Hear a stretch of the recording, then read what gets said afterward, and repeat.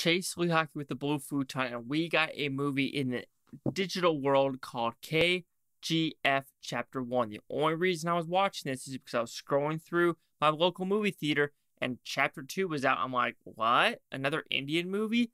But you know what? Let's check out Chapter 1 and see if Chapter 1 is worth reading this fictional hero's story.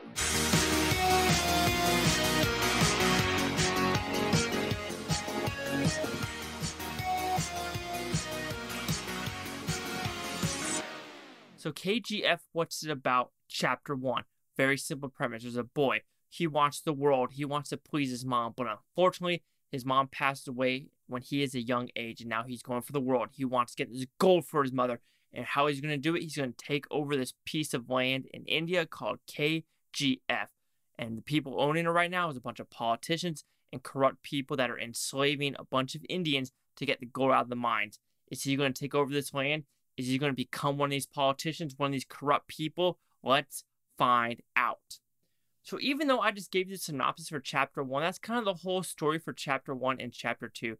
Chapter one more focuses on him as a kid and him slowly making it through the ranks to get to KGF and becoming the main mayor, if you want to put it, for this piece of land. I like chapter one? I thought chapter one was a pretty good movie. There were some faults, though, in my opinion.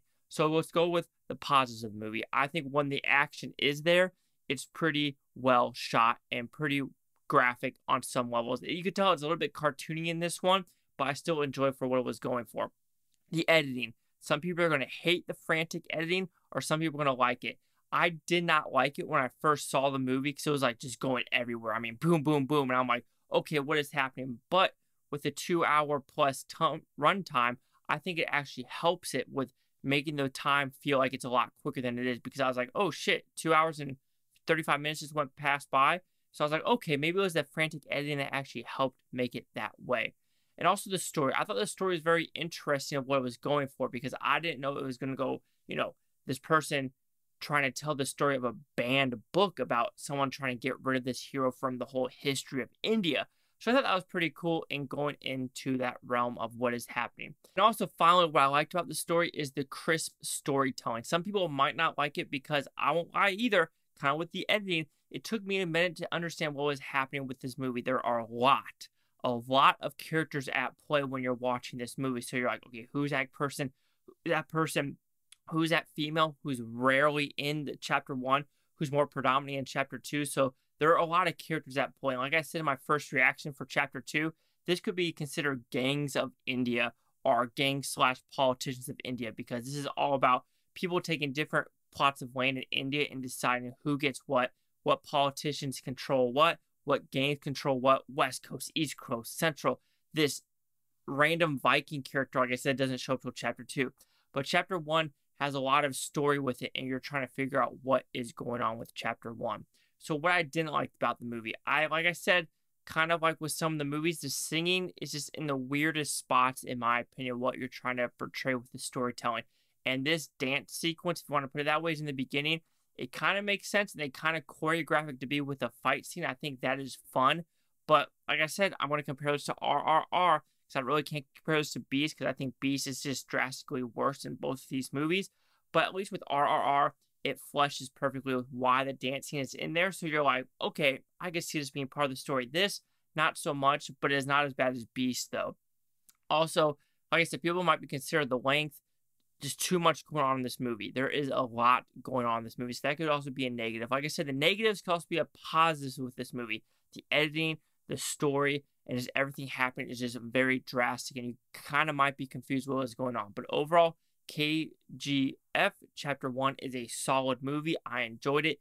It is a story that I was like entertained of like, even though this is kind of like a book burning kind of type of movie of like, do we want to burn the past? And who is actually wanting to figure out this past and like say, screw you, what's the past of what really happened in this country? Because what we're doing right now seems like a lot of countries are wanting to get rid of its history. I know the Nazis in Germany, yeah, they're trying to get rid of all the buildings and kind of like if you say that we're Nazis, we're going to do all that stuff. So there's a lot of countries who are trying to get rid of their history, but the problem is history is history. You can't erase the past. So I hate to say embrace it, but you know what? This shit sucked what we did, But you know what? This is how we're going to fix it.